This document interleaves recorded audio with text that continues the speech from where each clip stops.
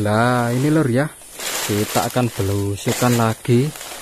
Jadi saya ini tepatnya berada di wilayah desa Siman Di kecamatan Kepung Kabupaten Kediri Jawa Timur Indonesia Raya Merdeka. Ini saya akan penelusuran Mencari sebuah tempat pertapaan pada zaman kerajaan Kediri. Ini saya berada di bawahnya jurang. Ini ada batu seperti kepala ular metawongol. Ini hawanya agak merinding. Ini saya sendirian ya ini saya mencari tempat pertapaan. Oh mungkin di situ ya. Cuma di sini tempatnya itu rauncep sekali rombuk sekali. Banyak laran-laran ini sampah-sampah dari daun-daun.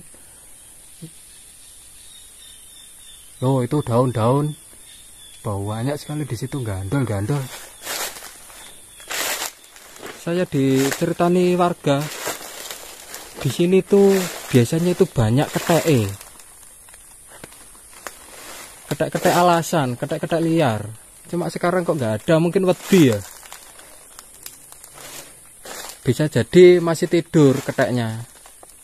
Oh, ini tempat pertapaannya di sini batunya itu ya metongol-metongol seperti ini. Ini saya agak merinding ya. Soalnya dewean.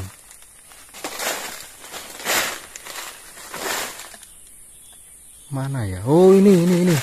Ini tempat pertapaan ini. Nah di sini ada sebuah gua.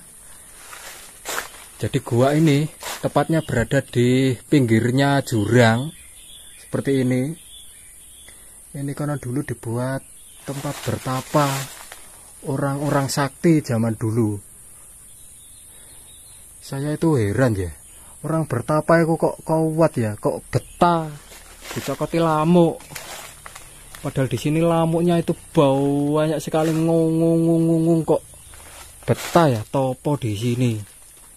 Bahkan puluhan tahun kok betah saya setengah jam aja di sini sudah nggak betah. Nah ini ini sebuah tempat pertapaan. Jadi tempat pertapaan ini ukurannya itu lebarnya sekitar satu meter setengah terus ketinggiannya sekitar 2 meteran. Ini sebuah tempat pertapaan zaman dulu yang masih ada sampai sekarang jadi itu tanah bercampur dengan batu ya di situ. Itu ada pintunya itu ditutup. Entah kenapa kok ditutup.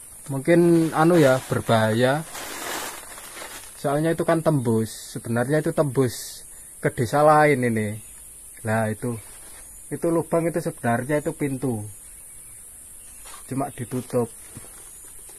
Mungkin ditutup oleh warga ya biar nggak dimasuki anak-anak soalnya ini tepatnya berada di bawahnya tanah dan batu. Takutnya itu longsor. Nah ini sebuah tempat pertapaan. Jadi dulu yang bertapa itu silo di sini. Puluhan tahun. Kok kuat? Padahal di sini banyak nyamuk eh nah itu. Kalau yang sana itu ketinggiannya sekitar 25 meter. Sangat tinggi sekali Oh, ini banyak batu-batu yang metongol-metongol di sini. Batunya itu juga merentul-merentul di sini. Saya itu juga heran. Orang bertapa di sini puluhan tahun kok betah. Padahal yo di sini tuh banyak ulare, banyak nyamuke. Terus baunya itu juga pengap, tapi kok betah. Mungkin biar sakti ya kalau tahu pel di tempat yang seperti ini. Bisa ngilang celing. Oh ini batu-batunya merendul-merendul. Soalnya orang zaman dulu itu memang sakti-sakti mandraguna. Bisa ngilang. Celing tembus Surabaya celing tembus Jakarta celing tembus Mediun celing tembus Kalimantan. Orang dulu itu sakti-sakti mandraguna Loh ini biasanya banyak ketek loh di sini. Loh di situ. cuma sekarang nggak ada mungkin ketai melayu paling minggat paling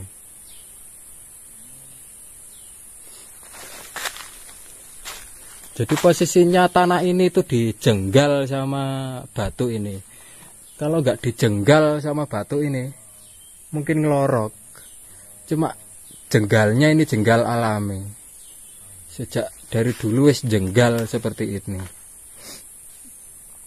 Hmm, seperti ini.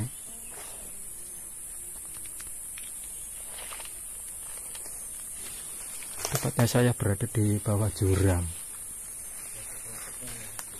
Jadi seperti itu ya tempat pertapaannya. Tempat pertapaan zaman kuno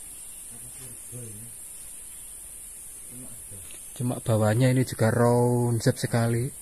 Di sini tuh ya bau banyak gombal-gombal.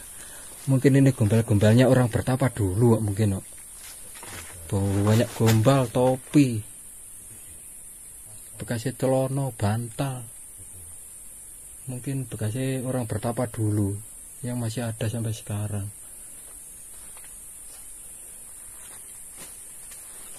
Seperti ini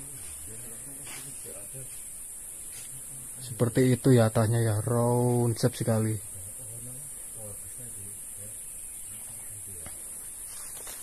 batu-batunya juga merentul merentul ini ada lamu omo lamu omo gitu lamu kayak ngene ya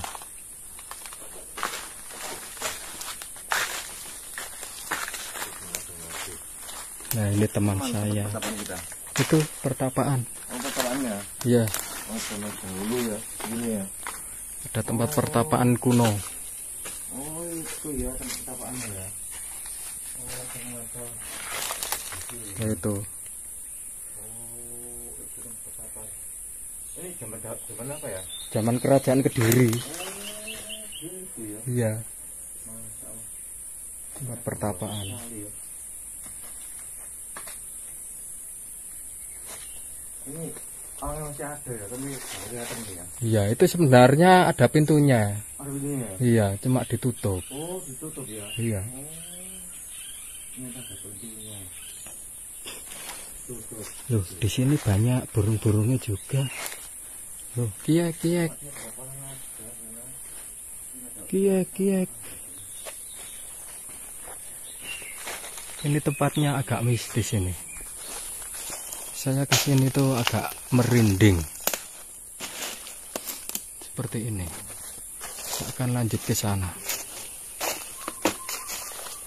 Yo, kok kok kok kok kok kok.